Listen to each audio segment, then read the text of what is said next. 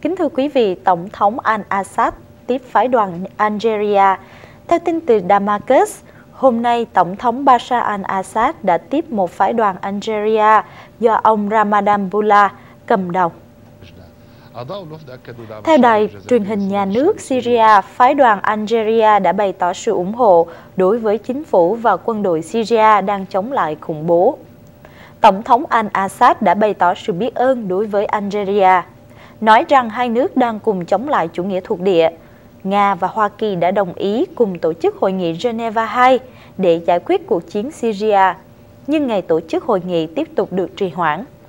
Theo các nguồn tin mới nhất, cuộc họp giữa Nga, Hoa Kỳ và Liên Hiệp Quốc tại Geneva để giải quyết những khó khăn và tiến hành tổ chức hội nghị Geneva 2 đã thất bại.